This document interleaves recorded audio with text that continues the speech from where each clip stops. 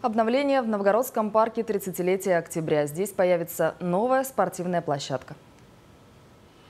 Новая площадка будет установлена в рамках федерального проекта «Спорт. Норма жизни». Тренажеры, которые здесь появятся, пригодны для тренировок и сдачи норм ГТО. Это силовые тренажеры, кардиотренажер, рукоходы, турники, гимнастические снаряды, комплекс для тренировки мышц верхнего плечевого пояса и брюшного пресса, горизонтальные гимнастические скамьи и разноуровневые брусья. На территории установят информационные стенды, которые объяснят, какие упражнения можно здесь делать.